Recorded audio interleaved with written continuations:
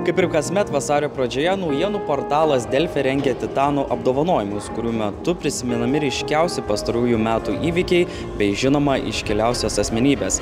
Šiandien bus išdalintos septynios Titanų statulėlės, o ceremonija vyksta energetikos ir technikos muziejuje. Metai buvo pilni įvykių, pilni e, emocijų ir pilni įvairiausių patyrimų. Šis įvertinimas, nežinau, turbūt duoda daugiau drąsos ir pasitikėjimo, nes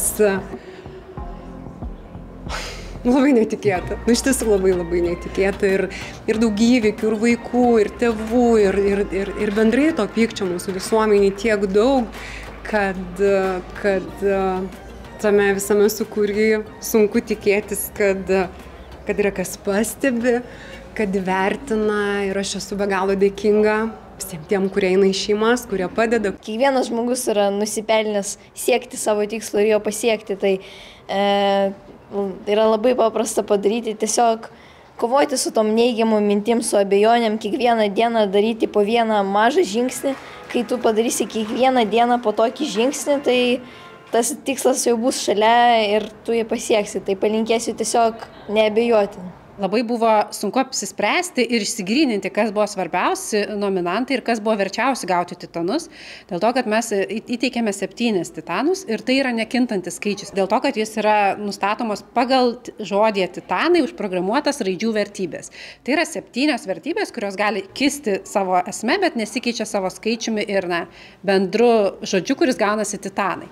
Taigi buvo tikrai sunku, sakyčiau, buvo labai sunku išrinkti.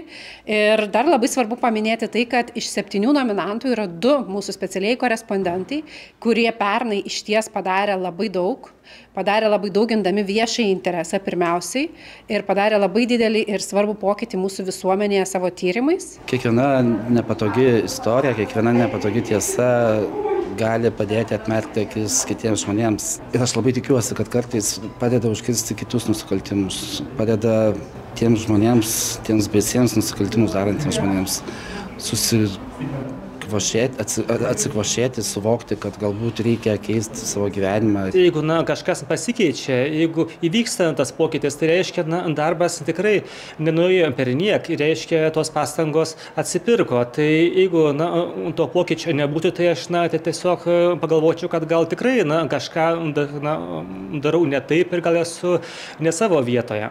Mūsų apdovanojimai nėra šiaip tradiciniai, tarkime, metų apdovanojimai, kur absoliučiai visi nominantai yra nuspėjami iš to, kas įvyko. Mes visada ieškame netrastų herojų.